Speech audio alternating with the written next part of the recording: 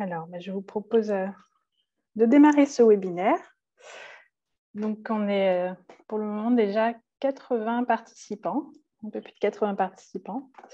bienvenue à tous, merci euh, pour votre intérêt merci de, suivre ce webinaire proposé par FNE, donc France Nature Environnement Auvergne-Rhône-Alpes et la Fédération des conservatoires d'espaces naturels. Donc, euh, moi, je suis Léonore Vandel, donc de la Fédération des conservatoires d'espaces naturels.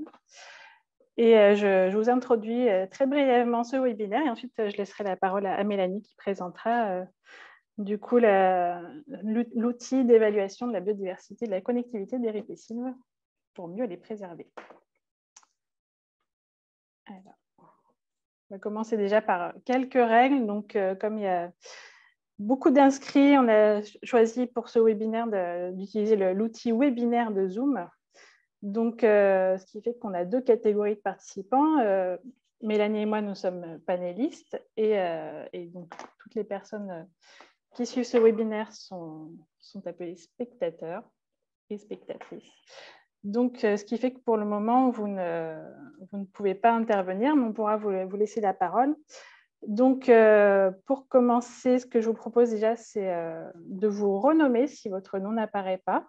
Euh, donc, je vous propose de mettre votre nom et la structure pour laquelle vous travaillez. tout le long de la présentation de Mélanie, vous pourrez poser vos questions. donc, il y a un outil qui s'appelle questions-réponses. donc, normalement, en bas de, la fenêtre de Zoom, vous pouvez cliquer, tapez votre question et vous pouvez voir aussi les questions que posent les autres participants. Votez en faveur des questions que vous trouvez les, plus pertinentes, du coup, qui remonteront euh, et euh, qui ressortiront du lot de questions. Euh, et, on pourra vous répondre au fur et à mesure. Et ensuite, on pourra répondre, Mélanie pourra répondre durant le temps d'échange qui est prévu à la fin, donc à la suite de la présentation. Et à ce moment-là, vous aurez aussi la possibilité de demander la parole en levant la main donc en cliquant sur le, bouton, euh, le bouton main.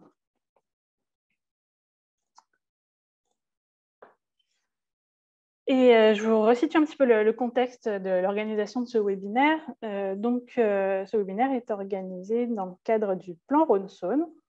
Donc, le plan Rhône-Saône, c'est un programme global de développement durable autour du Rhône et de la Saône, qui a été mis en œuvre pour la première fois en, 2007 et qui débute euh, sa troisième phase de programmation actuellement, donc la période 2021-2027. Et sur le volet eau et biodiversité, des moyens sont alloués pour la restauration et la préservation des zones humides et aussi pour l'animation du réseau qui regroupe tous les acteurs concernés par le Rhône, la Saône et leurs espaces naturels. Donc, le réseau d'acteurs, qui est animé par la Fédération des Seines depuis 2015, a pour principaux objectifs de contribuer à la cohérence et à l'efficacité des actions de gestion à l'échelle de l'axe Rhône-Saône et de faciliter le partage des informations et des savoir-faire. Donc là, je vous ai mis juste deux petites actualités.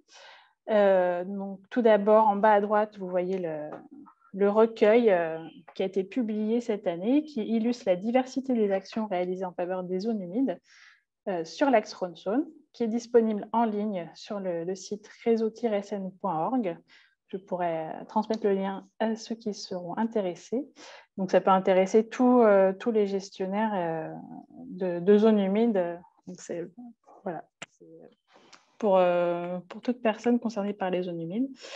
et l'autre grosse actualité, c'est l'organisation des huitièmes rencontres du réseau anime les 24 et 25 novembre sur le thème zone humide et changement climatique le programme et les informations de pratique euh, sont disponibles aussi sur, euh, sur ce site internet et euh, les inscriptions se clôturent mercredi de la semaine prochaine, le 26 octobre. Je vous invite à, vous inscrire si vous êtes intéressé n'hésitez pas à me contacter pour plus d'informations.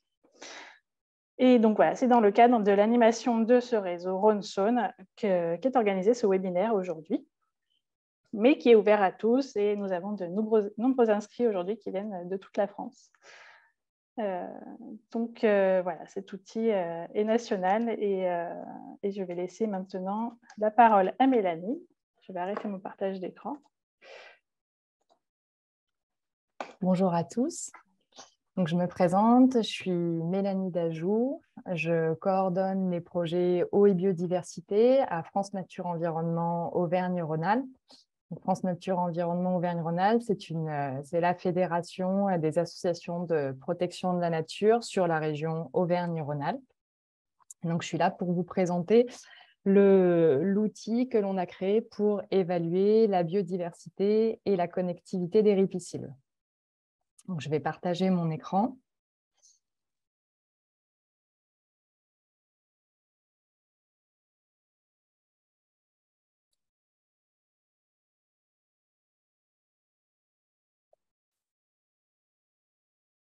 Alors, pardon. Voilà. Donc, est-ce que euh, vous voyez tous ma première euh, slide de, de ma vous voyez tous la première slide de ma présentation? C'est tout bon, oui. C'est tout bon? Très bien. Donc, euh, je, voulais aussi vous prévenir que pendant ma présentation, je vais être rejoint, on va être rejoint par un collègue, Christophe Gilles, qui est un expert naturaliste à France Nature Environnement Haute-Savoie. Euh, et qui a aussi beaucoup travaillé euh, sur, euh, sur ce projet et qui pourra m'aider dans les, les, réponses aux questions, notamment sur le question-réponse. je suis ravie de, de vous présenter cet outil. Je suis un peu impressionnée par, par le nombre de, participants, mais c'est bon signe. Ça veut dire que cet outil intéresse et que la, préservation des, des ripisylves a le, vent en poupe. J'en suis ravie. Donc, le, projet que je vais vous présenter, euh, il a émergé dans le cadre d'un appel à projet euh, pour la, biodiversité qui a été lancé par l'Agence de l'eau Rhône-Méditerranée-Corse. Et donc, euh, ce projet a eu de nombreux partenaires financiers, donc principalement l'Agence de l'eau Rhône-Méditerranée-Corse, mais aussi l'ADREAL, l'ADRAF, la CNR et un peu la, la région Auvergne-Rhône-Alpes. Donc, c'est un projet qui a été mené en partenariat avec euh, l'INRAE et le CNPF, euh, voilà, que j'ai euh, coordonné et qui a été testé avec des fédérations départementales de France Nature Environnement Auvergne-Rhône-Alpes, dont la FRAPNA Ardèche. Voilà, donc je veux un plan très simple de ce que je vais vous, présenter aujourd'hui. Euh, je vais faire un petit retour sur le contexte du, projet, ses objectifs et les, suites qu'on est en train de lui donner. Donc, le, travail a, commencé euh, fin 2007 euh, dans le cadre de cet appel à projet de l'Agence de l'eau. Euh, nous, ce qui nous intéressait à FNORA, c'était donc de travailler sur les ripisylves, étant donné la, méconnaissance de ces milieux. Alors, bon, là, entre nous, c'est des milieux qui ne, sont pas, qui nous sont pas inconnus, mais on est un peu dans l'entre-soi des des, gestionnaires et des, personnes qui travaillent sur la préservation des, milieux humides. Mais je ne sais pas si vous avez déjà fait le test d'en parler autour de vous, des ripisylves. C'est un peu un, voilà, un terme euh, complexe et méconnu de, de la population. Euh, en plus de ça, il y a des définitions qui sont, multiples euh, selon les, disciplines, qu'on soit géographe, naturaliste, hydrogéologue, etc. Donc nous, là, pour le projet, la définition qu'on a retenue des, des ripisylves, c'est l'ensemble des espèces végétales, principalement ligneuses, qui se trouvent en bordure de cours d'eau euh, et dont le développement le développement est lié à la présence d'une nappe alluviale peu profonde et à des inondations plus ou moins fréquentes. Euh, donc voilà, ça c'est une définition de, 2003 d'Hervé Piéguet. Euh, c'est celle qu'on a retenue pour notre projet et euh, donc on, souhaitait travailler principalement sur les ripisylves puisque c'est des, voilà, des milieux qui, qui sont constamment menacés. Euh, donc sur la, sur la slide que je vous présente, euh, sur la photo de gauche, bah, ça c'est les, ripisylves qu'on aimerait voir euh, partout. voilà, fournis avec des arbres de Auger, des différentes strates de végétation. Et puis, bah, sur la photo de droite, c'est celle qu'on a tendance à, à voir et à croiser le plus souvent. voilà, des ripisylves qui se retrouvent profondément, profondément dégradées par la présence d'espèces exotiques envahissantes, qui ont été énormément détruites par l'urbanisation, quand elles ne sont pas complètement absentes ou qu'elles n'ont pas subi des, des rases.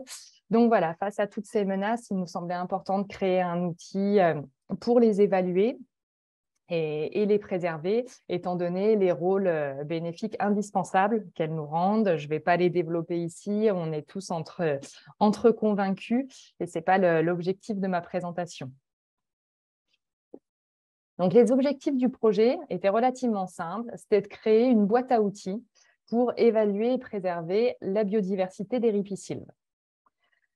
Donc, on a, travaillé sur un, outil euh, fondé sur une base méthodologique euh, simple qui était déjà connue des, des forestiers. On s'est fortement inspiré d'un indice de biodiversité potentielle qui a été créé par le Centre national de la propriété forestière, le CNPF, qui était un des principaux partenaires du projet. Donc, notre outil, il est à destination euh, des gestionnaires de milieux aquatiques, mais aussi des, propriétaires forestiers ou des associations de protection de la nature et de l'environnement euh, qui souhaitent euh, avoir une, une, action sur ces milieux. Et l'objectif, c'était de pouvoir avoir un outil qui donnerait un diagnostic pour les, gestionnaires afin de, contribuer à l'élaboration de, plans de gestion des, ripisylves et qui s'accompagnerait de conseils pratiques pour euh, préserver la biodiversité de, euh, de ces milieux.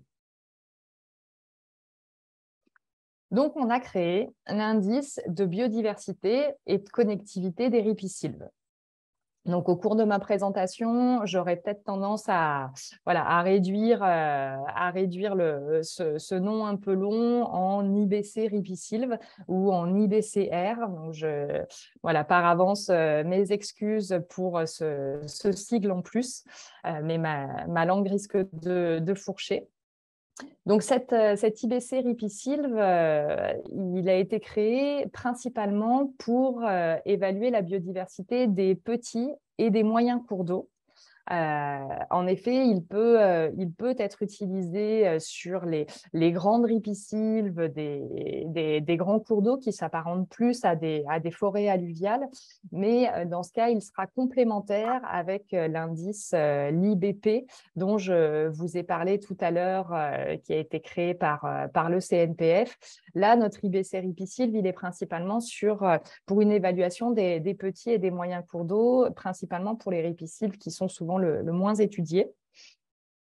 Et donc, cet outil euh, s'applique sur le, linéaire des, des qui se trouve sur la berge, euh, sur la berge des cours d'eau, donc en, lit mineur. Sur le, sur le, lit majeur, euh, on est là encore, on sera plus sur de la forêt alluviale avec donc un, un qui pourra être utilisé de manière complémentaire.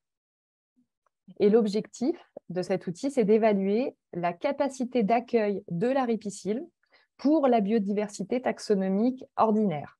Donc en fait, ça va être des, indicateurs indirects qui vont être, euh, qui sont utilisés dans, cet outil et qui donc, ben voilà, expliquent sa facilité d'appropriation et donc, j'insiste bien sur le fait qu'on est là pour évaluer la, biodiversité taxonomique euh, ordinaire et non pas euh, des espèces, euh, les espèces protégées ou les espèces patrimoniales.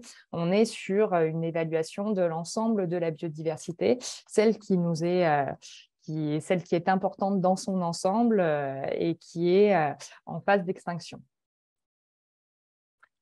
Donc, de quoi se compose l'IBC ripisylve L'IBC ripisylve, c'est 15 facteurs d'évaluation. Pour chaque facteur, on va attribuer un score.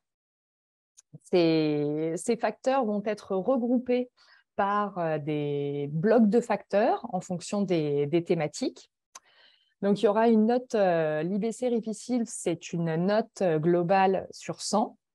Euh, mais aussi euh, quatre notes euh, pour chaque. il y a une note pour, pour chaque bloc de facteurs. Donc en tout, ça fait. il y a une note globale, mais il y a cinq notes, cinq notes en tout qui vont permettre d'orienter les choix de, de gestion et d'action.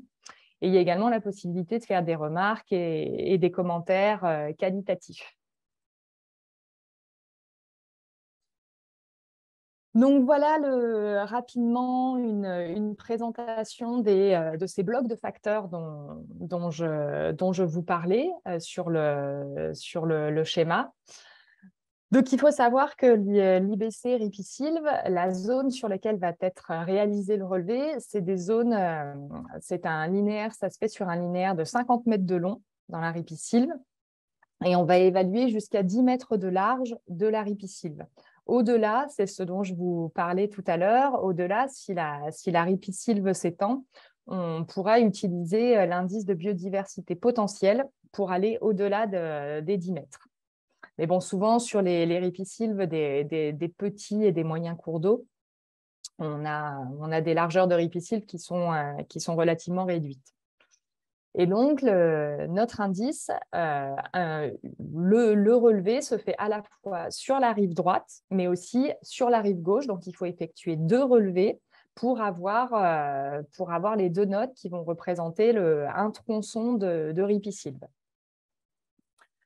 Donc, on a à la fois les, euh, on va avoir une note pour euh, évaluer euh, l'état du, peuplement et de la gestion qui est réalisée dans la ripisylve.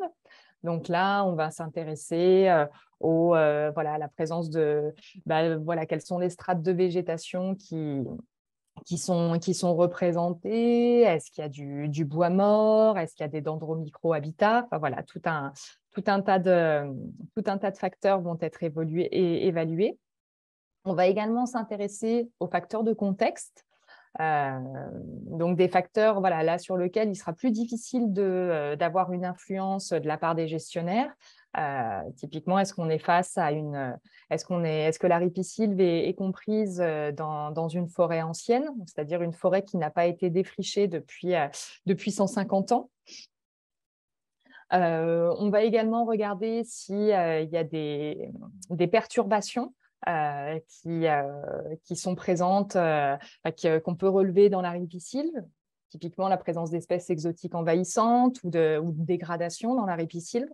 Et puis ensuite, on va également s'intéresser aux facteurs de connectivité et où, euh, voilà, là, il y a une note importante euh, qui est liée à la fois à la connectivité longitudinale et à la connectivité euh, transversale et à la connectivité paysagère de la, de la ripisylve.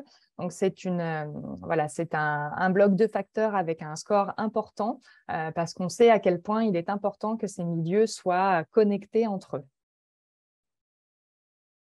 Je vais aller un petit peu plus euh, dans le, détail sur les, facteurs pour que vous ayez une vision d'ensemble. Ainsi, dans les facteurs qui sont liés au peuplement et à la gestion, euh, on va regarder quels sont les, s'il y a la présence de, de lignes autochtones caractéristiques des ripisylves, euh, mais aussi s'il y a plusieurs strates de végétation qui sont, qui sont présentes dans la ripisylve. Euh, à la fois s'il y a des élophytes, s'il y a des arbustes, s'il y a des arbres de Auger.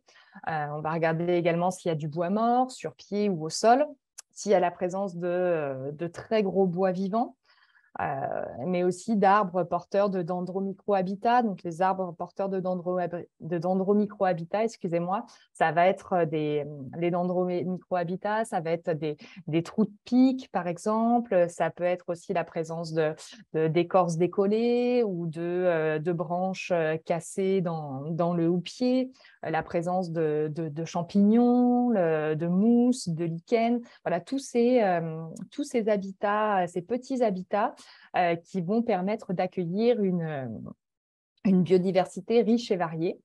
Et puis également, on va regarder s'il y a des abris racinaires aquatiques qui sont présents.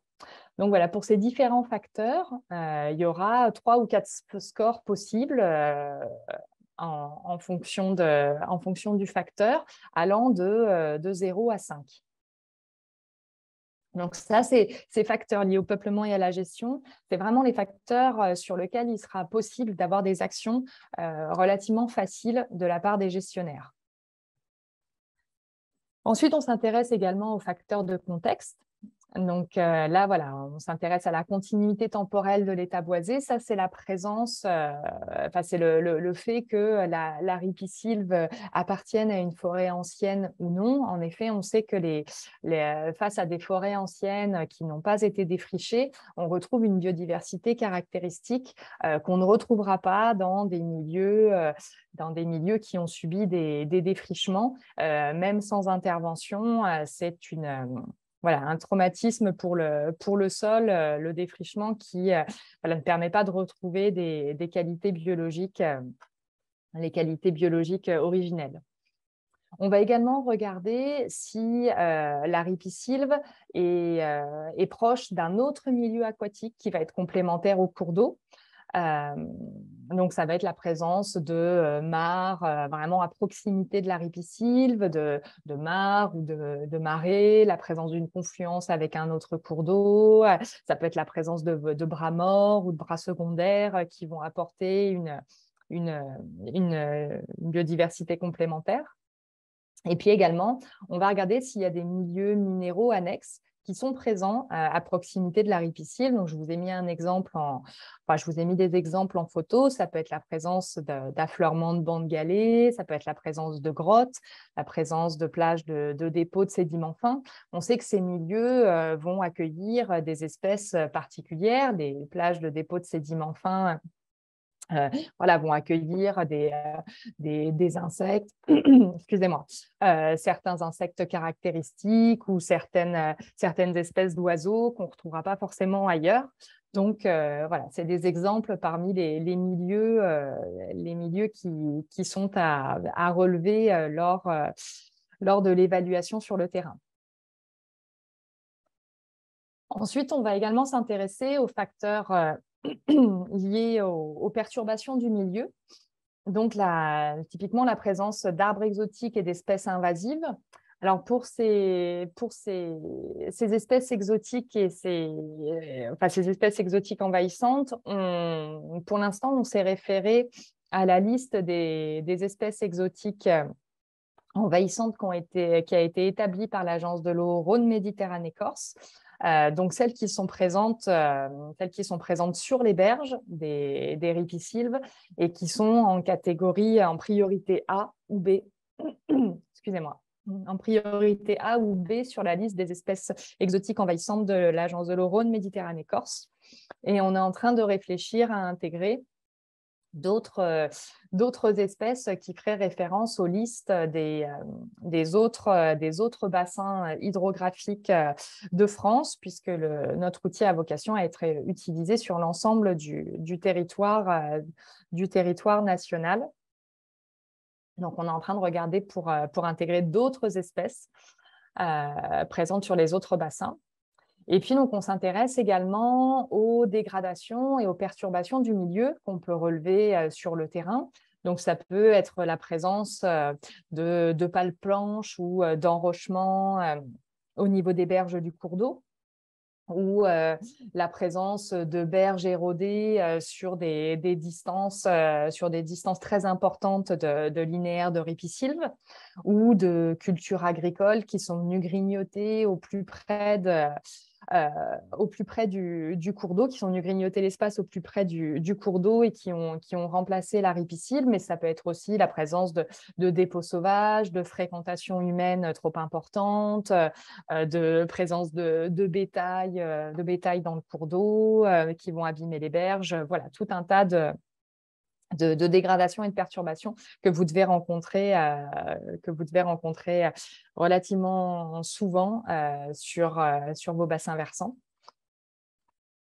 Et puis enfin, on arrive aux facteurs qui sont liés à la connectivité. Euh, ainsi, là, on va s'intéresser à la, à la, connectivité longitudinale de la ripisylve, à savoir, euh, voilà, est-ce que la ripisylve est euh, connectée amont, amont-aval sur des, sur des linéaires importants où elle se retrouve, où est-ce qu'elle se retrouve fragmentée par, par des, infrastructures de transport, par exemple. dans le cadre de la connectivité transversale, par exemple, on va s'intéresser à à, l'inclinaison moyenne de la berge, en effet, on sait que plus les, pentes sont en pente douce, plus elles seront favorables à l'accueil d'espèces diverses. Et puis, pour la connectivité paysagère, là, on va, on va prendre un petit peu de hauteur et on va s'écarter donc de la, de la zone de relevé euh, dont je vous parlais euh, au départ, qui est donc sur 500 mètres de long et sur 10 mètres de large.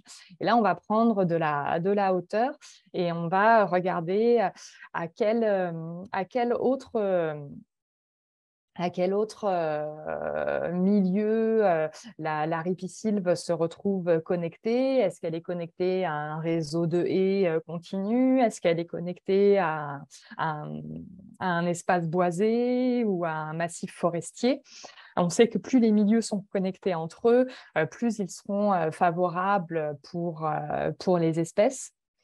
Euh, dans le cadre de cette connectivité paysagère, on va, on peut également s'intéresser à la présence, euh, à la présence de bâtis à proximité, à proximité de la ripisylve. Donc voilà, il y a tout un tas d'éléments de, qui, sont, relevés.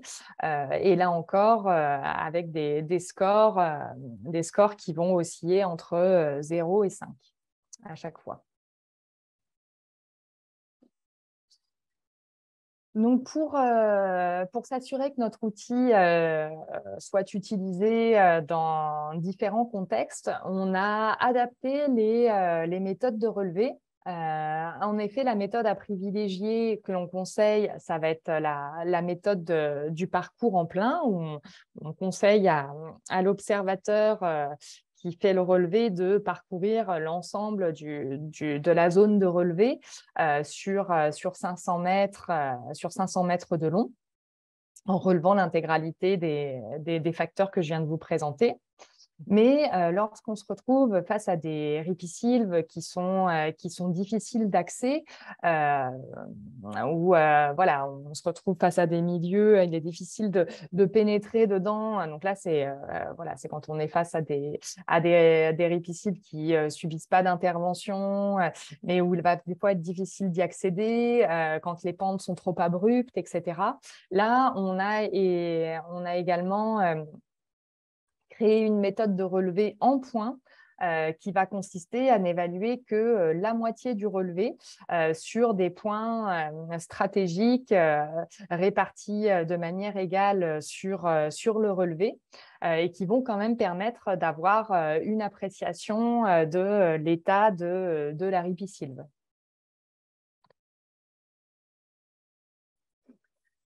Donc, afin de, afin d'aider au, diagnostic, on, a développé donc une, palette, une palette d'outils pour aider à ce, à ce, diagnostic. Donc, on a créé deux méthodes de saisie.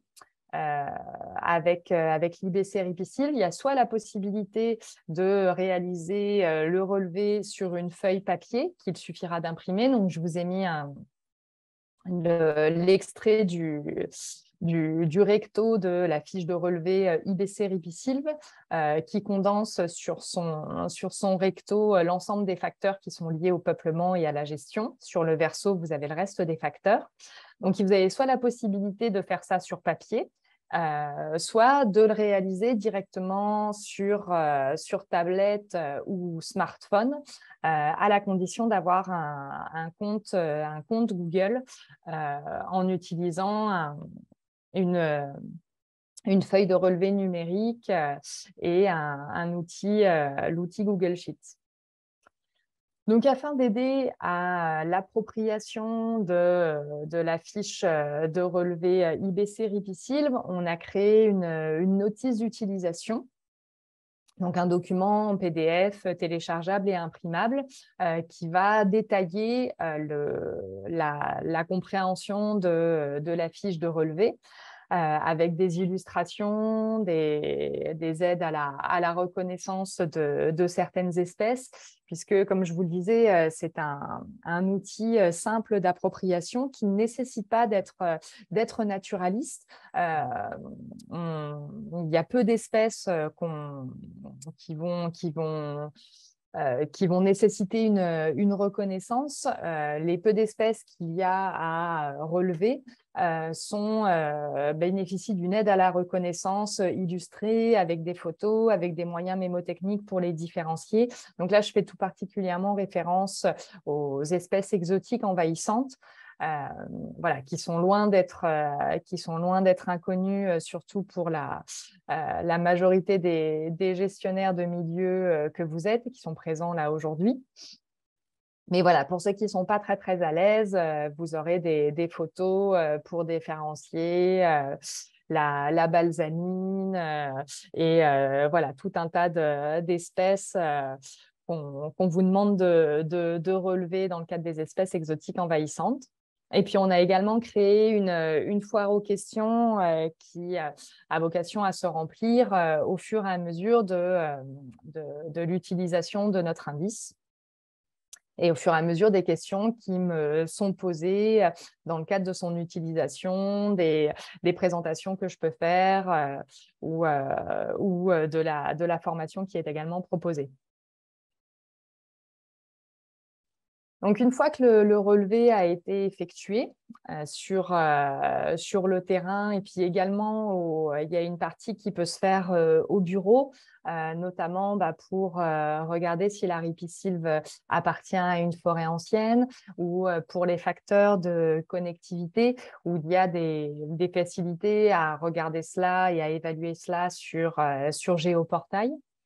une fois que le relevé a été effectué, vous avez ensuite euh, un tableur, euh, un tableur Excel, euh, donc soit la version Google Sheet, soit le, tableur Excel classique dans lequel il vous faut reporter vos scores que vous avez indiqués sur la fiche de relevé papier. Si vous l'avez fait directement sur la version numérique, là, vous avez juste à copier-coller l'URL de la feuille de relevé que vous avez effectuée, à le copier-coller dans le tableau d'archivage en ligne et là, vous avez euh, un archivage et une analyse euh, automatique euh, de vos données. Donc voilà comment ça se, présente. ce que je vous indiquais, c'est qu'il y a cinq notes qui vont ressortir du relevé. La note globale de l'IBC Ripisylve sur 100, qui euh, est un ajout de la note des facteurs de connectivité, de perturbation du milieu, de contexte et de peuplement et gestion.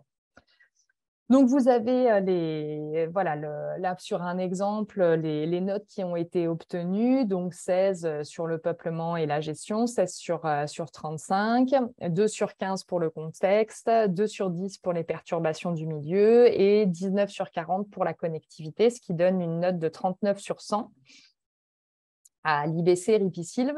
Donc, les, codes couleurs sont ceux qu'on a l'habitude de voir. Hein. Euh, plus, euh, plus on tend vers le vert foncé, euh, meilleure est la note. Plus on tend vers le rouge, moins, bonne est, moins bonne est la note. Et là, je, voudrais insister sur l'importance de donc la, note IBC Ripisylve globale donne une idée de l'état de, de, la ripisylve en termes de biodiversité, de connectivité. Mais les, notes qui sont les plus importantes et qui vont vous permettre d'orienter la, la, gestion, les, les, actions de, protection ou de préservation à mettre en œuvre euh, sont les, notes par bloc de facteurs. Euh, et euh, vous voyez là, par l'intermédiaire de ces histogrammes, vous savez, vous voyez déjà que bon, sur la note de peuplement et de gestion, on a une note qui n'est pas, qui est pas trop qui n'est pas, pas trop mauvaise, mais qui, euh, qui, pourrait être facilement amélioré. Et on voit que voilà, ce, qui, ce qui cloche le plus, ça va être le contexte. Le contexte, on sait que c'est quelque chose sur lequel il est difficile de, il est difficile de, de jouer. Bon, si la ripiscine ne fait pas partie d'une forêt ancienne, bah, c'est comme ça. Ça pourra pas, on va pas, on va pas réinventer les choses, euh, mais on va pouvoir jouer sur le peuplement et la gestion et sur euh, les facteurs de connectivité. Euh, qui peuvent être améliorés. Et puis ensuite, on a dans, le, dans, le, dans le tableau, il y a également la possibilité d'avoir une, comparaison des données euh, par, euh, par tronçon. Donc, j'insiste bien sur le fait qu'un tronçon, c'est l'évaluation à la fois de la rive droite et de la rive gauche.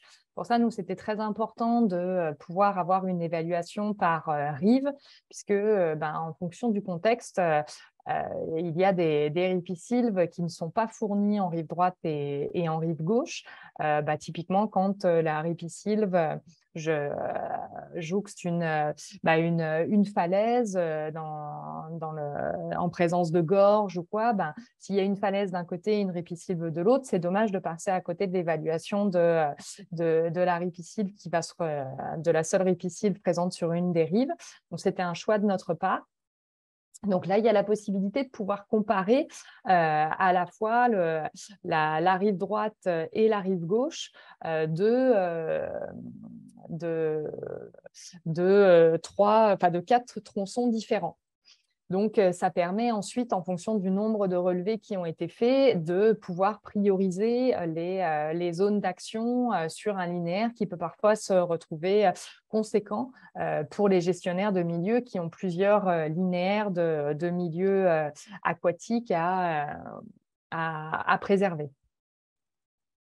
Et donc, euh, là encore, euh, il y a des, codes couleurs qui reprennent euh, les couleurs de, des, facteurs de connectivité, des facteurs de perturbation, de contexte, de peuplement et de gestion, qui permettent d'avoir une, vision assez, rapide et synthétique de l'évaluation qui a été réalisée. Et puis après, une fois qu'on a obtenu la note, on a réalisé un guide euh, qui va reprendre euh, l'ensemble, euh, qui va se décliner par, selon l'ensemble des facteurs qui sont analysés dans le cadre de la fiche de relevé. Et donc, pour chaque facteur, euh, on va regarder, bah voilà, pourquoi est-ce que c'est intéressant de s'intéresser, euh, pourquoi est-ce que, euh, pourquoi voilà, par exemple, les, différentes strates de végétation présentes dans la répisylve, pourquoi il y a un intérêt sur, sur la biodiversité, quelles sont, les, quelles sont les espèces qu'on va retrouver dans les différentes strates de végétation, euh, on a également un volet qui consiste à avoir sur, euh, sur certains facteurs à changer de regard sur des, éléments, euh, sur des éléments particuliers, sur la présence d'embâcles par exemple, sur la présence du, du castor. On va apporter un autre regard sur ces, sur ces éléments. Euh, ensuite, on va, on va regarder quels sont les objectifs à atteindre pour améliorer euh, les différentes strates de végétation qu'on aimerait retrouver euh, dans la ripisylve. on va développer des moyens à mettre en œuvre pour arriver à ces objectifs, c'est-à-dire pour augmenter le score lors d'un relevé ultérieur un relevé ultérieur à l'échelle de l'arbre. Hein. On est sur l'évaluation d'une végétation principalement ligneuse. Euh, évidemment, euh, le, relevé que vous allez effectuer, euh, il ne s'agit pas d'y retourner l'année d'après pour voir si là, vous vous retrouvez face à des très gros bois dans la ripisylve. ils n'auront pas grossi par magie. Donc, voilà, on préconise de, faire un retour sur les relevés au moins, enfin, d'attendre au moins 5 ans, voire 10 ans pour, euh, pour, euh, pour voir l'évolution. On présente également des cas concrets, euh, des témoignages de gestionnaires de milieux aquatiques pour, pour appuyer nos propos et on a également un petit plus du hérisson. Donc là, c'est quand on veut aller encore plus loin pour, pour préserver la, la biodiversité de, de ces milieux. Voilà, donc l'outil euh, l'IBC Ripisylve euh, est maintenant euh, opérationnel et en ligne depuis, deux ans à peine. Donc c'est vrai que sur la, communication qu'on souhaitait en faire et la diffusion, on, a été un petit peu freiné par, par la crise Covid, mais comme, comme, comme tout le monde et dans le cadre de la plupart des métiers. Donc, c'est vrai qu'il y a eu moins, il y avait beaucoup d'interventions qui étaient prévues dans des colloques, etc., qui se sont beaucoup changées en, webinaire, mais c'est aussi, voilà, c'est aussi les, avantages du, du, webinaire. Ça nous permet d'être, nombreux aujourd'hui des quatre coins de la France, qui n'auraient peut-être pas forcément été possibles dans le cadre d'une, d'une journée qui aurait été organisée en, en physique. Euh, donc, notre, euh, nos objectifs, c'est de, voilà, de mettre à disposition, de diffuser, euh, que les, les gestionnaires s'approprient l'outil. Il y a également un objectif d'adaptation de, de, notre outil. donc, afin de, remplir ces, ces, différents objectifs, on, a mis en place un module de formation et une offre d'accompagnement dans, dans, les territoires.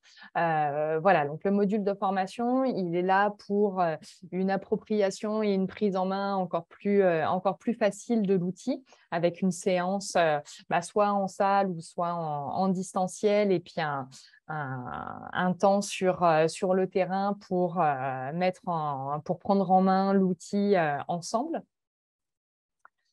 On, a euh, tenu aussi à ce que l'IBC Ripisilve soit un, outil évolutif en fonction des, retours d'expérience des, utilisateurs. Euh, en effet, rien n'a été édité, tout est, en ligne euh, en, version numérique.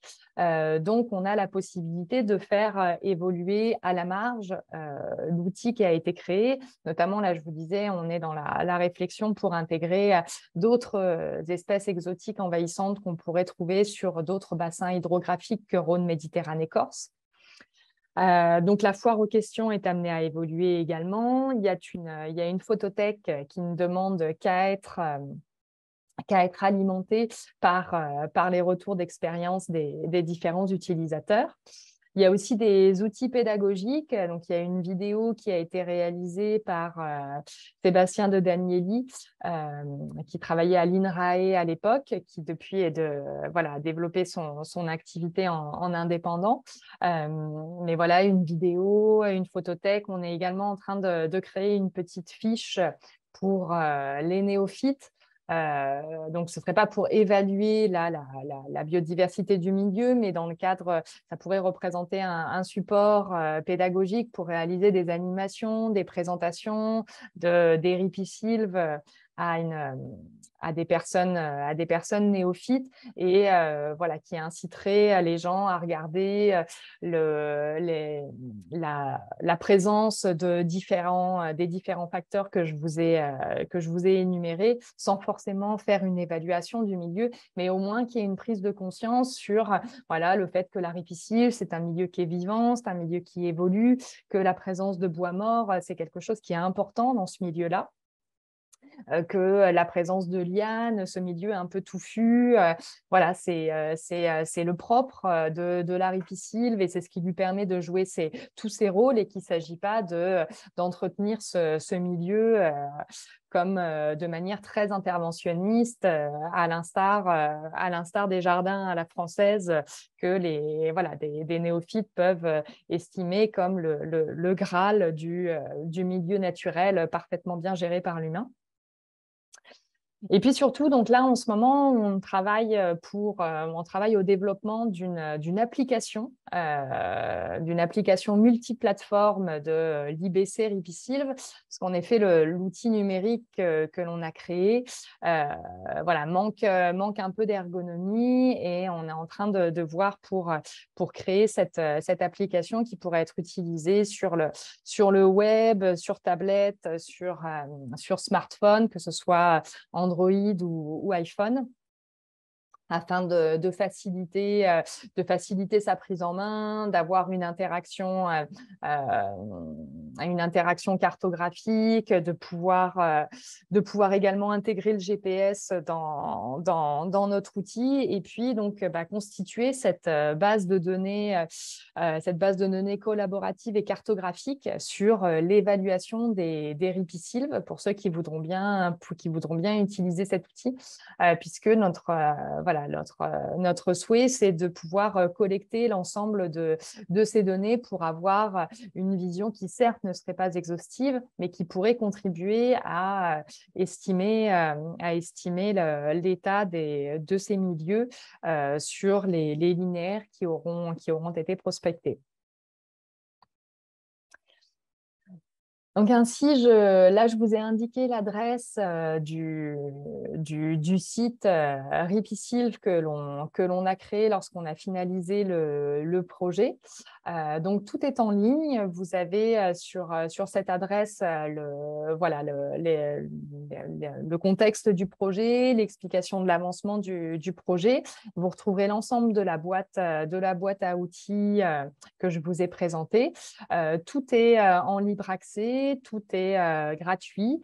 Euh, l'objectif, c'est que cet outil euh, soit, utilisé pour que voilà, l'enjeu de, biodiversité de, de, ces milieux soit, soit voilà, parfaitement intégré dans dans, les plans de, gestion des ripisylves qui peuvent être, euh, qui peuvent être élaborés, euh, mais aussi dans l'ensemble des opérations de, restauration des, milieux aquatiques euh, pour lesquels vous travaillez, au même titre que l'enjeu qualité de l'eau, l'enjeu gestion quantitative ou inondation.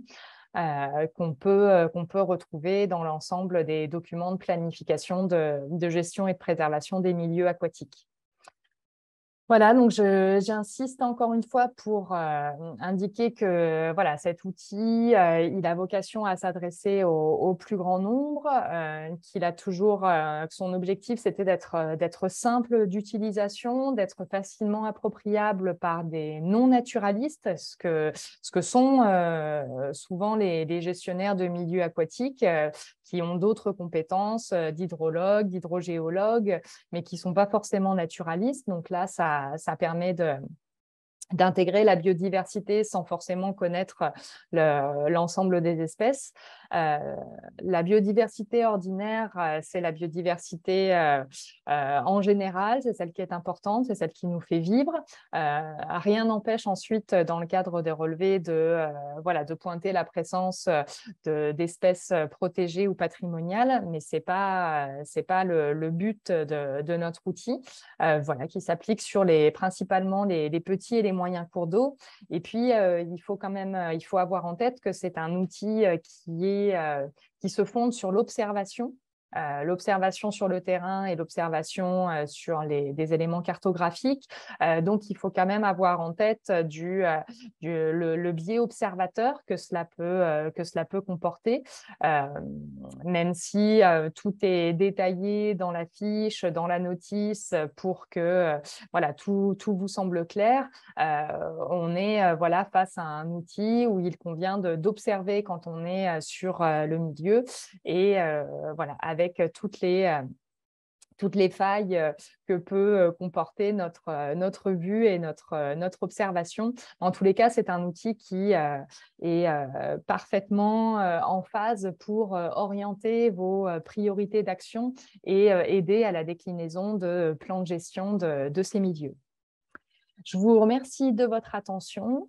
Euh, j'espère que j'ai été, euh, été, assez claire. Et puis voilà, si ce n'est pas le cas, de toute façon, on a du temps pour, euh, pour échanger. je suis à votre disposition maintenant pour les questions et puis même par la suite par téléphone ou par mail. Je vous remercie. Je vais peut-être arrêter le, partage, le partage d'écran. Merci, merci beaucoup, Mélanie. Et puis, bah, merci à Christophe qui a déjà répondu à, plusieurs questions. Euh, alors, euh, bah, j'ai noté euh, une question à laquelle il, il, relance la balle dans ton camp, Mélanie. C'était une colle. Est-il prévu de coupler le protocole avec celui du protocole CARIS? Non. je, non, ce, n'est pas, ce n'est pas forcément, enfin, ce n'est pas prévu. Euh, cependant, je ne sais pas qui a, qui a posé la question, mais euh, en effet, ça peut. Euh, voilà, on peut, on peut tout à fait échanger à, à ce sujet pour voir les, les, avantages et les, et les inconvénients qu'il y a, ou les difficultés ou les obstacles qu'il y aurait à ça. Mais voilà, de, à chaud, euh, non. Ok, c'était euh, une question de William Huchet. D'accord. alors ensuite, je te propose de, voir les questions qui ont le plus de votes pour commencer. Tout à fait. Alors, j'ai la, la, question de Marie de l'épage SABV. À l'échelle d'un cours d'eau, quels sont les critères de choix pour définir les tronçons de relevé Alors, les, là, euh, à l'échelle d'un cours d'eau, pour les gestionnaires, les critères de choix euh, pour euh, faire un relevé, bon, déjà, en fait, l'IBC Ripisilve, il est là pour s'adapter, enfin, il, est là pour répondre à vos besoins. Ça dépend quel va être le, le, besoin du, du, gestionnaire. Si, mais les, pour, pour évaluer le la biodiversité euh, des répiciles. Euh, ce qui est important, c'est déjà euh, de voir quelles sont les facilités d'accès pour se rendre sur, sur les répiciles et de voir quels sont les secteurs à enjeu que, que, vous, souhaitez, que vous souhaitez préserver. les, critères de, les critères de choix pour le relever relèvent principalement de, des objectifs qui sont, que, le, que le gestionnaire souhaite suivre. Euh, ça dépend de.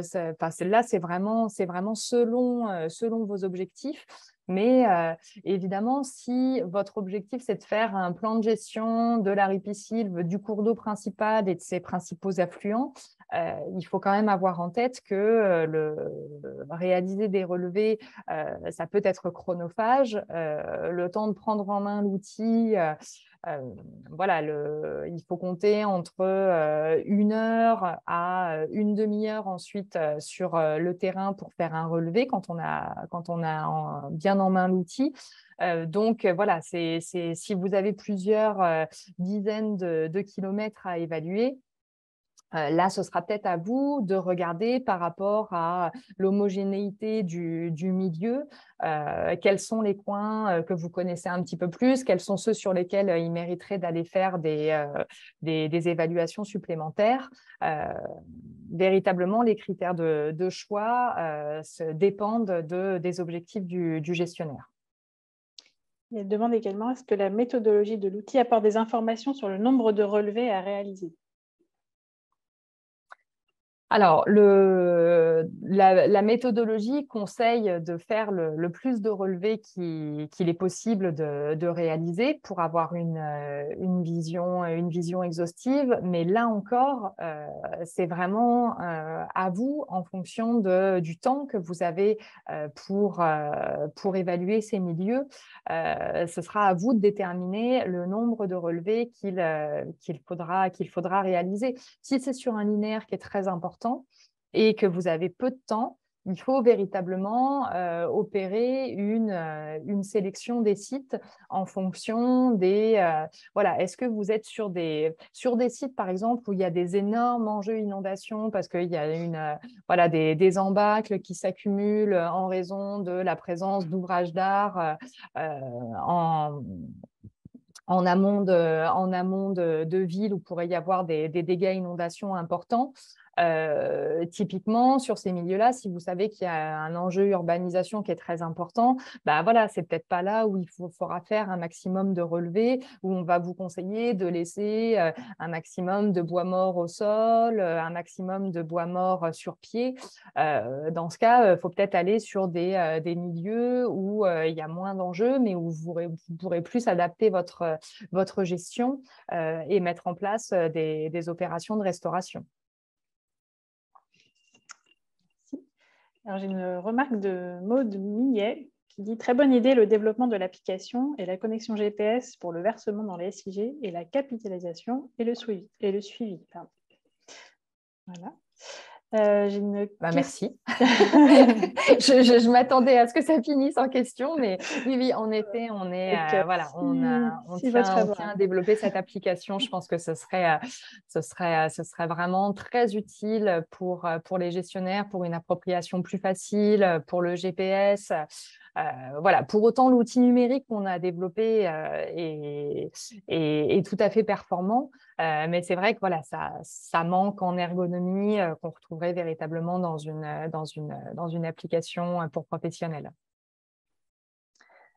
Alors, j'ai une question de Clément Bastin.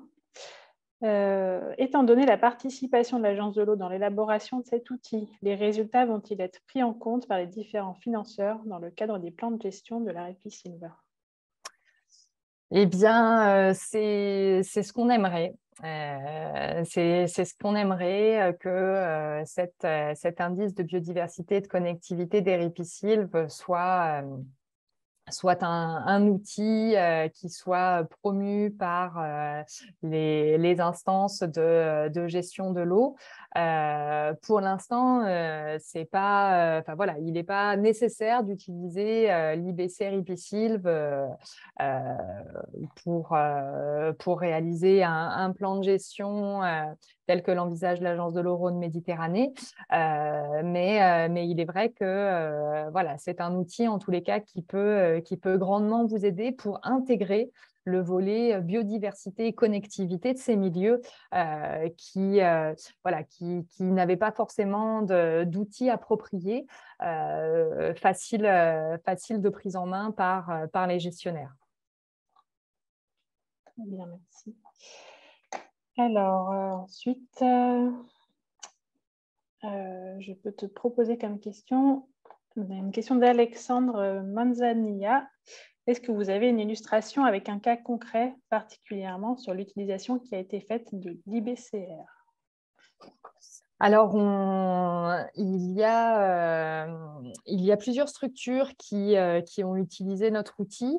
Euh, typiquement, la, donc la, la, LPO Aura a testé, enfin, a utilisé notre outil avant même que notre, le, guide, le guide de préservation des ripisylves soit, soit, soit finalisé.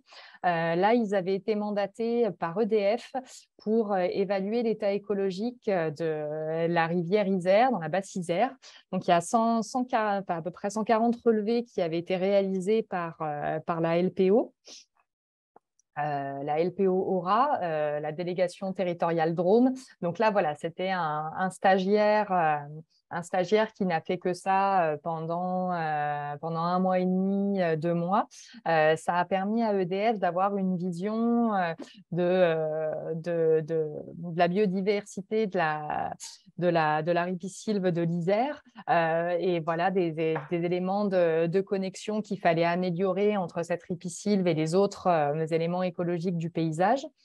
Euh, ça leur a donné des, euh, voilà, des, pistes, euh, des pistes de priorité pour leurs actions sur les endroits où il fallait, bon, ben, où ça nécessitait pas d'intervention, à des endroits où il fallait accentuer la, la la, une gestion moins interventionniste, à des endroits où il fallait protéger en l'état et ne plus rien toucher. Euh, donc ça, c'est un exemple qui a été euh, fait en, donc ça c'était en 2020. J'ai aussi en tête le, le, le, ce qui est en train de se faire sur le bassin versant de la Coise. Euh, donc, euh, donc là-dessus, euh, c'est dans le cadre de, du, plan de gestion du plan de gestion ripisylve de, de, de l'Aquoise, où euh, là, il y a à peu près 350 tronçons qui sont à l'étude. une bonne moitié ont déjà été réalisés par le, par le là, leur, leur objectif, c'est vraiment d'intégrer l'indice dans le futur plan de gestion qu'ils vont réaliser. Ils ont une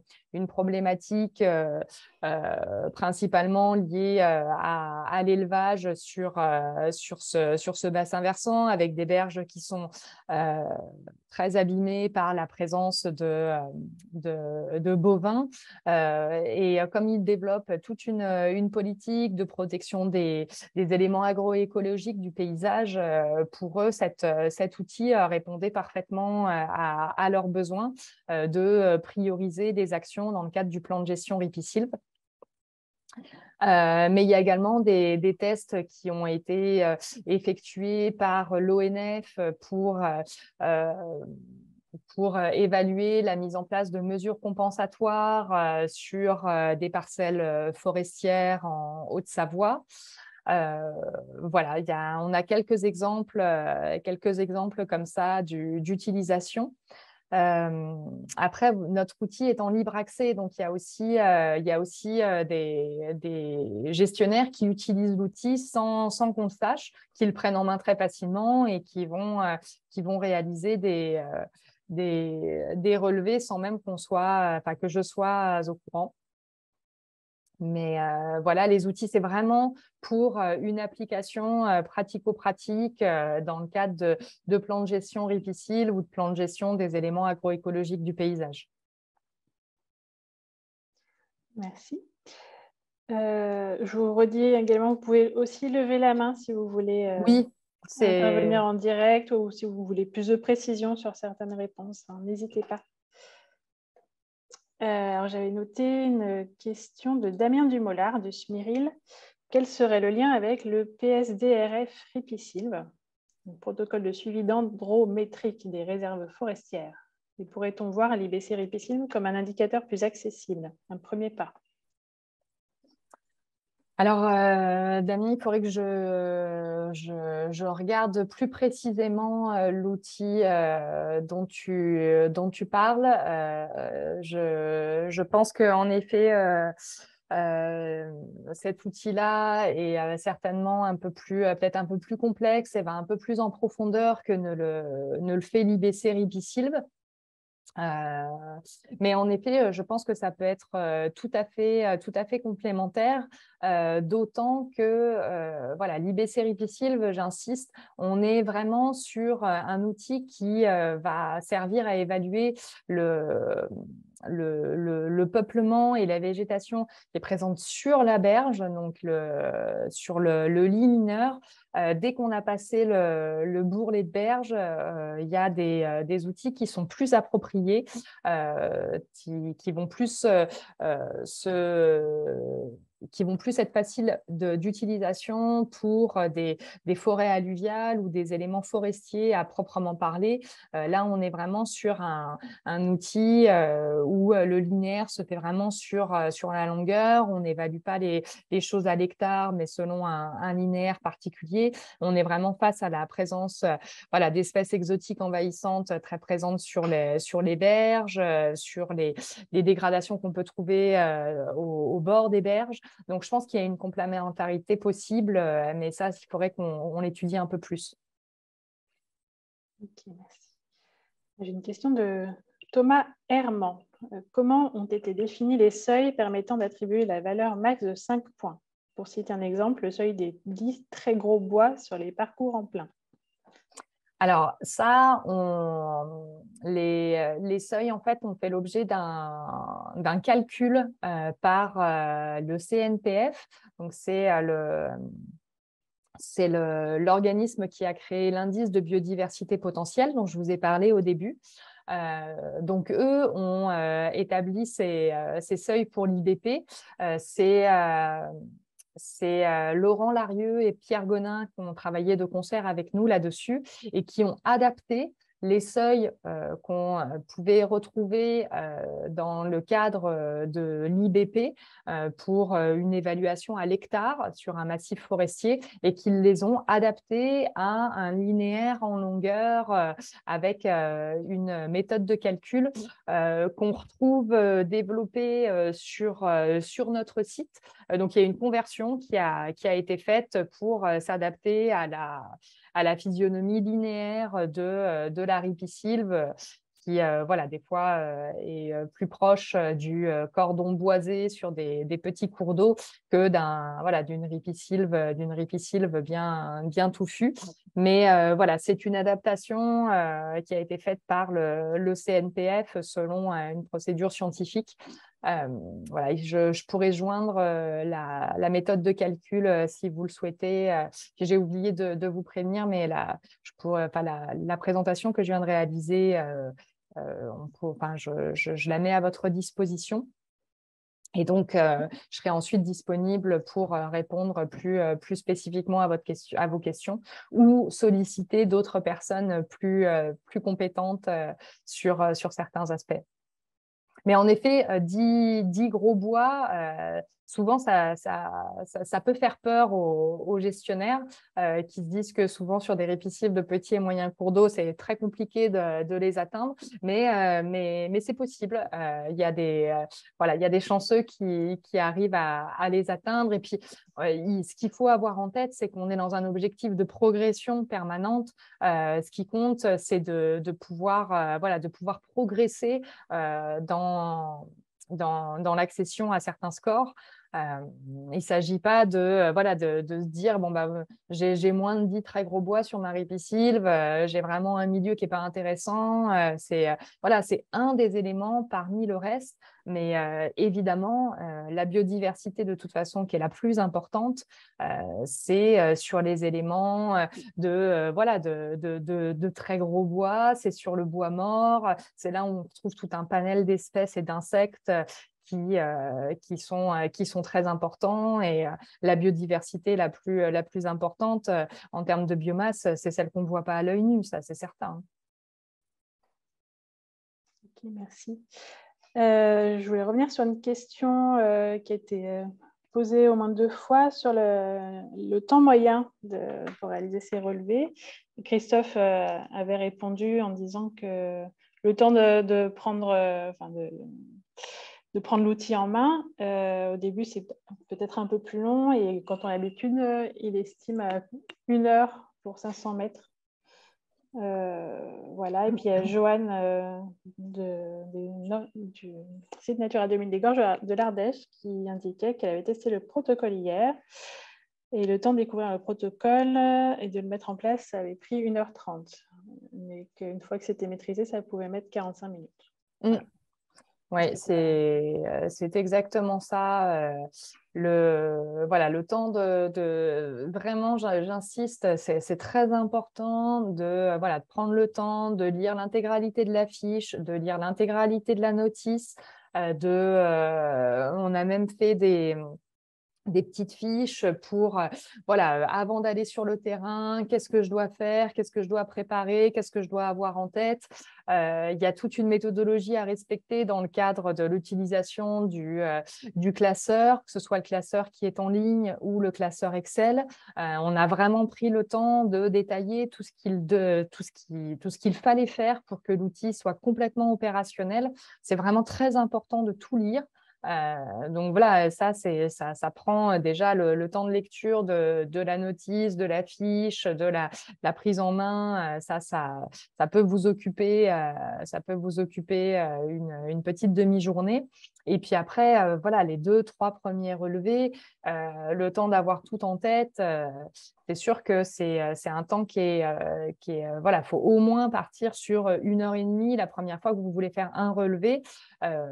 mais euh, mais ensuite, quand, euh, quand vous êtes bien rodé, euh, nous, on conseille de ne pas y passer plus de, pas plus de, de, 45 minutes sur le terrain, parce que l'objectif, ce n'est pas de pas de tout relever dans le détail non plus, de vous arrêter sur chaque arbre, c'est d'avoir quand même une vision un peu d'ensemble, une vision un peu globale de, euh, de l'état de, votre milieu. Et typiquement, le, stagiaire qui avait été, euh, euh, qui, a, qui a utilisé l'indice à la LPO sur à peu près 140 relevés, sur la fin, il, mettait, il pouvait mettre moins d'une demi-heure sur le terrain pour faire un relevé de 500 mètres dans le cadre d'une ripicide qui est pareil, relativement accessible. Hein. Quand il faut batailler avec les ronces, là, ça peut peut-être prendre plus de temps. Mais, mais voilà, c'est quand même un, un élément euh, qui, euh, qui, demande du temps d'observation.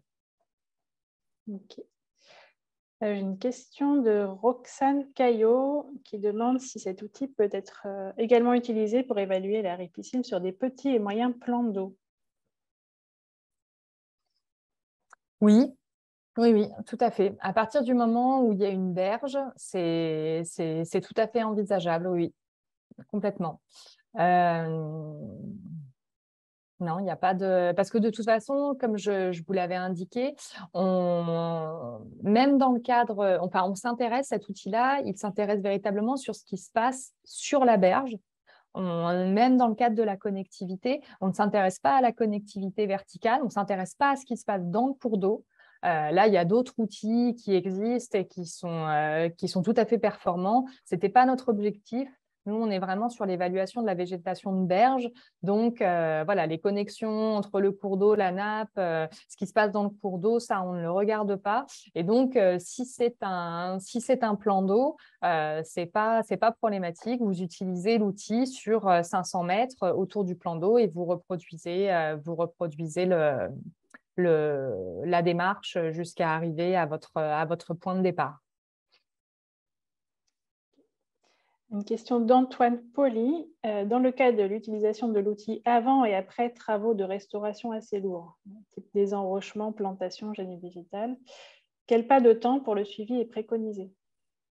Alors, donc, c'est super de, de, réaliser ces, ces, travaux de restauration. par contre, voilà, je tenais à vous, enfin, je, je, tiens à vous prévenir quand vous allez utiliser l'outil, par exemple. Donc, ce qui serait intéressant, ce serait de faire, d'utiliser l'outil avant les travaux et ensuite de faire une évaluation juste après les travaux. Là, il ne faut surtout pas vous démoraliser. parce qu'en fait, la note, juste après travaux, elle risque d'être complètement catastrophique parce que, bah, évidemment, euh, vous allez être face à des euh, jeunes plantations. Donc, en termes de différentes strates de végétation, bah, il n'y aura pas grand-chose. Euh, en termes de très gros bois, bah, il n'y aura pas grand-chose non plus. En termes de bois mort, il n'y en aura pas non plus. Les abris racinaires n'auront pas encore été constitués. Donc, voilà, en termes de peuplement et de gestion, la note, elle va vraiment être très, très, très mauvaise. Mais par contre, elle ne peut que s'améliorer au fur et à mesure des années puisque vous allez, euh, ce qui va être, euh, soit ce qui va être planté ou ce qui va pousser naturellement, bah, va forcément, euh, enfin, relèvera de lignes autochtones plutôt caractéristiques, ou alors vous aurez une possibilité d'intervenir pour pas laisser, pour pas que les espèces exotiques prennent le dessus. Il y a des techniques naturelles qu'on développe dans le, dans, le, dans le guide pour utiliser nos espèces invasives bien autochtones qui peuvent concurrencer les, les espèces exotiques. Donc, euh, voilà, il euh, ne faudra pas s'alarmer là-dessus. Et ensuite, euh, ce qui est intéressant, c'est de revenir après, après cette évaluation post-restauration, ben, 5 à 10 ans après. C'est, on est vraiment à l'échelle de l'arbre. Donc, les, les, résultats sur le peuplement et la gestion, avant 5 à 10 ans, vous aurez du mal à les voir à, voilà, pouvoir les palper. Mais pour autant, ça ne veut pas dire que la ripisylve ne sera pas intéressante. C'est juste que c'est une ripisylve neuve, euh, jeune. Euh, donc, euh, voilà, en effet, vous ne pourrez pas être face à des, à des, des peuplements matures. Alors, j'ai une question de ma collègue Charlotte Lemoigne. Est-ce que, est-ce que des outils pour analyser l'évolution des scores après plusieurs évaluations de ma ripisylve, N, N plus 5, N plus 10, plus 10 sont envisagés euh, non, Charlotte, euh, j'avoue qu'on n'a pas, on pas pensé à, cela. Euh, bon, pour autant, dans le cadre de l'application qu'on va développer, euh, il y aura la possibilité de, euh, voilà, de retourner euh, sur les lieux. tout ce qui va être rentré dans le cadre de l'application, ce seront des résultats qui seront enregistrés et que vous pourrez ensuite adapter, enfin vous pourrez retourner sur le terrain et voir l'évolution entre, entre les premiers relevés qui ont été réalisés et puis, et puis ceux, ceux ultérieurs. Mais ça, voilà, ça va nécessiter, ça va nécessiter une, euh, une phase de, développement et d'accompagnement de notre, euh, du prestataire euh, qui est, qui est pressenti si ce projet de développement de l'application voit le jour. On est en train de, voilà, d'essayer de, boucler le, le, budget et les demandes de financement actuellement. Donc, je pense que l'application aura une utilité, euh, euh, là, là-dessus. il sera euh, voilà, avec une notion de superposition des, des, relevés. Dans le cadre de l'application, en fait, il y aura une, cartographie en ligne qui permettra de voir les linéaires de ripisylve qui ont été évalués grâce à cette application et qui donc apparaîtront avec le code couleur de bah, sur ce linéaire de ripisylve, si la note était bonne, bah, on verra le linéaire en vert. Si elle était un peu moins bonne, on clair, elle était moyenne en orange et si elle était mauvaise en rouge. Donc, ça permettra de, superposer un peu les différents, les différents résultats. Bien. Euh, j'ai une question d'Elodie Liénard. Où peut-on trouver plus d'informations sur le module de formation, date, lieu, etc. Regardez sur euh, le site. Oui, il n'y a pas de, il a pas de, il a pas de, de, date, de date annoncée puisque voilà, le, module de formation est, prêt. On a déjà réalisé une, une formation l'année dernière. Euh, bon, on sortait de Covid, euh, donc il y a, on n'avait pas eu énormément de monde euh, à la formation. on avait moins d'une dizaine de participants.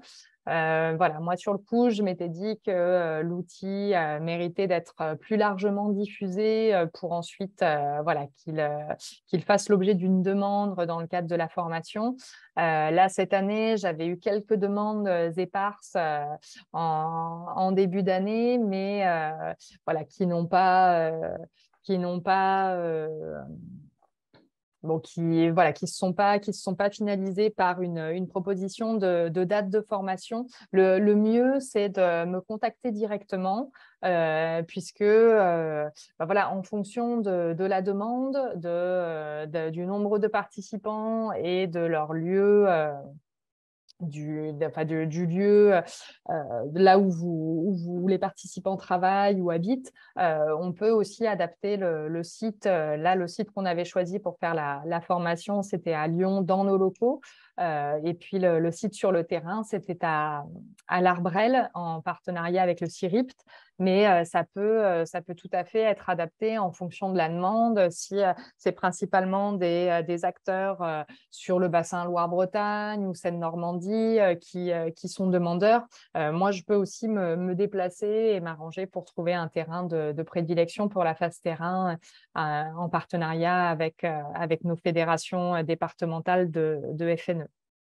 Donc, les, informations, c'est euh, me passer un coup de fil ou m'envoyer un petit mail auquel je répondrai avec plaisir. Très bien. Et on avait aussi une question de Tao Manikachi du CIMADREM qui demandait des, vous trouvez des éléments sur l'IBP. Donc, il y a un lien qui a été euh, qui a été transmis. Euh, ah, bah, merci. voilà. Non, mais oui, tout est en ligne pour l'indice de biodiversité potentielle qui a été euh, élaboré par le CNPF. Euh, voilà, on s'en est fortement, fortement inspiré. et donc, voilà, vous pouvez retrouver tous ces éléments dans le lien qui a dû vous être, vous être, vous être donné. Et puis, n'hésitez pas, voilà, vous pouvez tout à fait contacter Laurent Larieux ou euh, Pierre Gonin pour avoir plus de, renseignements. Ils ont tout un programme de recherche et développement qui est, développé sur cet outil. Donc, ils sont, euh, disponibles euh, et voilà, très, très mobilisés sur la, diffusion de, de, cet outil qui est tout à fait, tout à fait intéressant. Très bien. Alors, ah, une nouvelle question. Dubert Pérignon, certains secteurs du profil longitudinal d'un cours d'eau sont-ils plus adaptés pour la mise en œuvre de cette IBC Est-ce que tu peux répéter, s'il te plaît? Certains secteurs du profil longitudinal d'un cours d'eau sont-ils plus adaptés pour la mise en œuvre de cette IBC hmm, Non. Euh, non, l'IBC ripisylve peut vraiment être, euh, être, appliqué, euh, être appliqué partout. Euh, il n'y a pas de, de profil longitudinal, enfin, il n'y a pas de profil longitudinal qui serait plus approprié. Euh, il ne faut pas se dire euh, je ne vais pas utiliser l'IBC ripisylve à cet endroit parce que euh, il y a plusieurs infrastructures de, de, transport qui vont venir fragmenter ma ripisylve, donc je ne vais pas avoir une bonne note. Au contraire, cet outil, enfin, l'objectif, c'est pas de l'utiliser pour vous assurer une bonne note et d'aller sur les endroits où votre biodiversité, où vous pensez que la biodiversité est plus intéressante qu'à d'autres. Vous avez beaucoup plus de marge de manœuvre en utilisant l'outil sur des, tronçons qui sont dégradés, sur lesquels vous pourrez avoir une, influence en adoptant des mesures de, gestion, de préservation, de restauration, que sur des, des, des ripisylves où il n'y a pas d'intervention, qui sont en libre évolution, qui n'ont pas été défrichés euh, qui n'ont jamais subi de défrichement, qui, où là, oui, en effet, vous aurez, euh, vous aurez une très bonne note et j'en serais ravie, hein, mais euh, bon, ce n'est pas celle qu'on rencontre le plus souvent quand même. Et, et surtout, ben, une fois que vous avez votre très très bonne note, ben, il n'y a plus vraiment moyen d'intervention. Donc, c'est super, ça peut vous donner des arguments pour ensuite aller un petit peu plus loin sur la recherche d'espèces protégées ou d'espèces patrimoniales, pour ensuite essayer de décliner des moyens de protection de ces milieux qui pourraient être adaptés. On a la, chance d'avoir maintenant des, des, arrêtés préfectoraux pour la protection des habitats naturels qui peuvent voilà, préserver la, la ripisylve en tant que juste ripisylve existante, galerie de, de salicacées existante et qui mériterait d'être protégée juste à ce titre. L'initiative a été lancée dans notre région. sur le département de la Drôme, où il y a eu des, de nombreuses coupes rases qui ont été réalisées euh, sur le bassin versant de, la rivière Drôme et aussi euh, tout particulièrement sur le bassin versant du Roubion et du Jabron. Euh, et pour, voilà, pour contrecarrer cette, cette, cette, pratique qui avait tendance à se développer, il y a eu une forte mobilisation des acteurs du, du territoire pour mettre en place cette APHN sur l'ensemble du du bassin versant du Roubion et du Jabron et sur l'ensemble du linéaire de, euh, de, la rivière Drôme.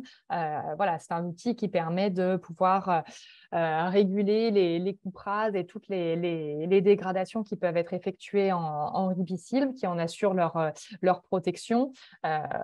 voilà, c'est un outil particulièrement, particulièrement important qu'on voilà, qu'on met en valeur dans, dans le guide, mais voilà, pas de, pas de profil plus appropriés que d'autres, euh, à moins que euh, Christophe, tu aies euh, des éléments à, apporter en plus là-dessus. Mais pour moi, c'est vraiment toutes les ripicides qui peuvent être évaluées avec notre outil, avec une petite réserve quand même sur les ripisylves du pourtour méditerranéen, voilà, parce qu'il y a des espèces, des espèces spécifiques qui sont présentes, et puis aussi parce que voilà, sur ces, sur ces milieux-là, le, le, on sait que la, la végétation se, se, développe un peu moins vite, notamment les, les, ligneux qui vont, voilà, qui, vont se, qui vont grossir un peu moins vite, et donc vous pourriez être peut-être un peu voilà, ça ne prendrait peut-être pas forcément en compte l'ensemble des caractéristiques des, des ripicides du, milieu euh, méditerranéen,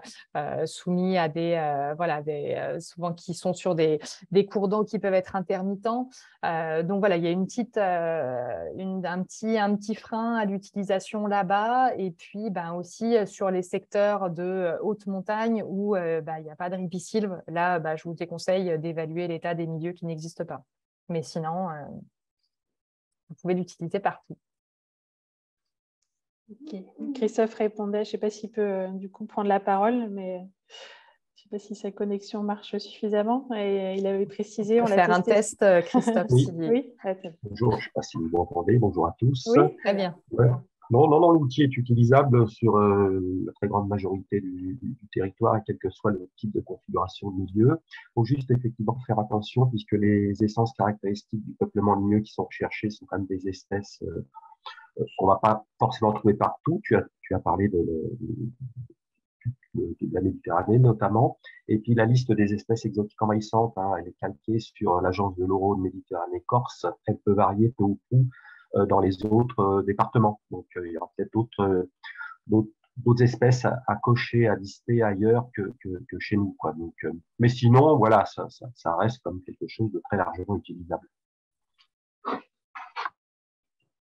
Et puis donc, bah, Hubert Pérignon précisait zone de source, zone de plaine. C'est une question En lien avec cette question. Euh, donc, bah oui, l'outil est utilisable en pleine euh, sans, sans souci. Euh, sur les, les, zones de source, enfin, voilà, c'est adapté aux, très, aux très petits cours d'eau. Donc, ça, ça ne, pose pas de problème non plus à partir du moment où il y a, on constate le développement d'une végétation euh, et euh, voilà, principalement ligneuse, parce que si vous n'avez pas d'arbres, là, vous êtes assuré d'avoir une note euh, très mauvaise. Il demande également pas de restriction de pente de pente. Alors, c'est vrai que dans les zones qui sont euh, particulièrement pentues, euh, sur les zones de montagne, euh, par exemple, où vous pouvez avoir des pentes très abruptes avec bah, une végétation, par exemple, si face à la présence de, nombreux conifères qui peuvent être présents naturellement sur ces, sur ces, sur ces pentes de montagne, là, en effet, c'est la note ne sera pas euh, la note ne sera pas très euh, très enfin quoique la note ne sera pas très importante. En fait, vous aurez une, vous, la note sera mauvaise, enfin le score sera mauvais sur la présence de lignes autochtones caractéristiques parce qu'on est sur des feuillus euh, à rechercher en ripisylve. Donc, vous ne pas la, vous pourrez pas valoriser la présence de, de conifères. Mais, euh, mais sinon, euh, vous pourrez retrouver du très gros bois euh, dans, dans, des, dans, dans, ces peuplements. Vous pourrez retrouver des arbres morts. Bon, il y aura pour les abris racinaires aquatiques, ce sera, ce sera plus compliqué, mais mais, vraiment, enfin, cette note, ça donne une idée de euh, l'évaluation de la biodiversité. Et en effet, si vous êtes face à un peuplement homogène où il y a principalement des conifères, on considérera que la biodiversité est euh, moins diverse parce que plus spécifique. Mais euh, ça, c'est pas pour autant que votre milieu ne sera pas intéressant par d'autres côtés. C'est vraiment un outil pour orienter la gestion et la protection. On n'est pas sur une, une, note sur laquelle on pourra on ne pourra pas avoir d'influence et qui sera euh, voilà, reconnu euh, par tous et décrié par tous. Ok, merci. Et ben, on aura deux dernières questions. Martin Spaet qui demande pourrait-on avoir un retour d'expérience de la LPO rapport si possible, pour avoir une idée des travaux réalisés?